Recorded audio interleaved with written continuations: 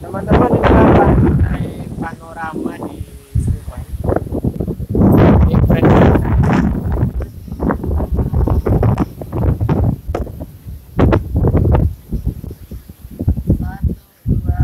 tiga. Ah,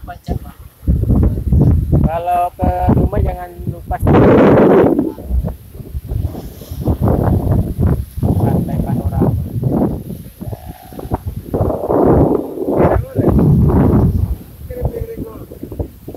ang pagkayaw, rapot.